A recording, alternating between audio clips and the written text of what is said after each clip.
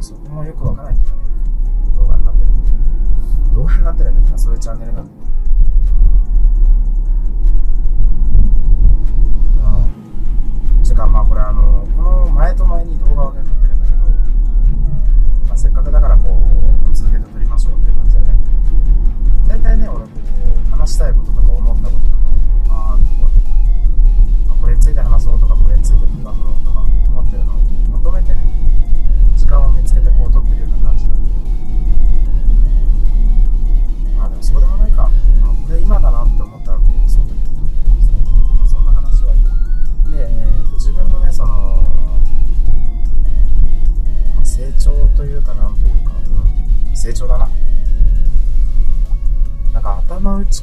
すごいこう感じてるんですよ。今の自分のこう置かれてる環境。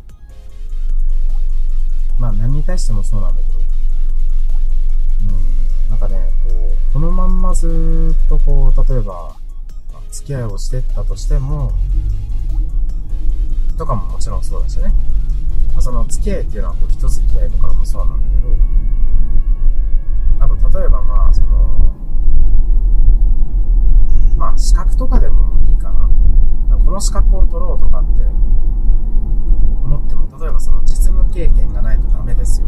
格だけ持っててもダメですよとかいうパターンがあったりするよね。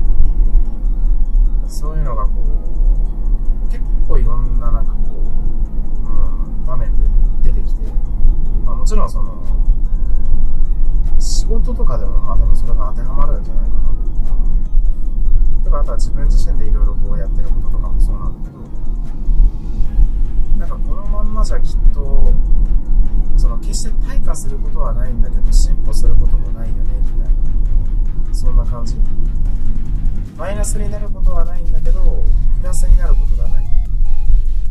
でも環境を変えたり、ステージを変えたりすれば、どんどんどんどんそれはこう、プラスの方にステップアップしていくというか、身につくことが増えていくよね。でまあ結論はもう自分の中でね、こう答えというのは出てるんだけど、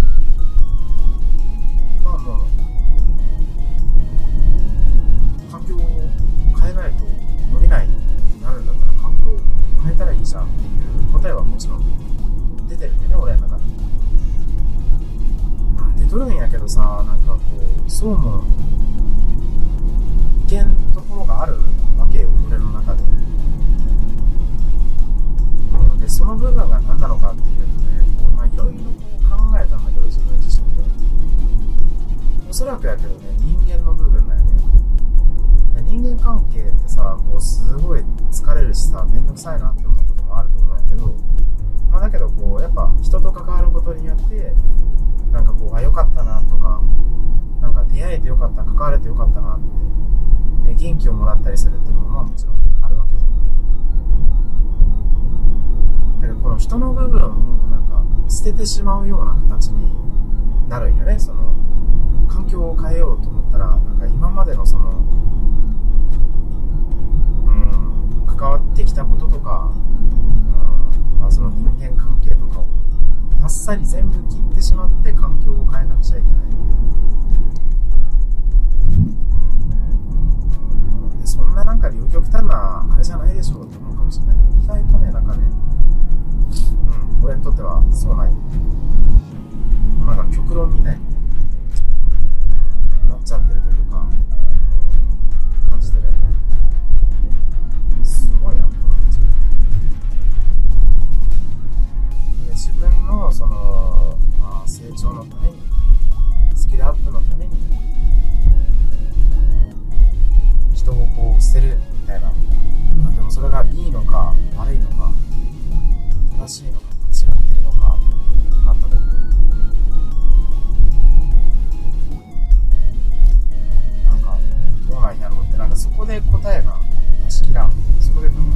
ききらん自分がやっぱ、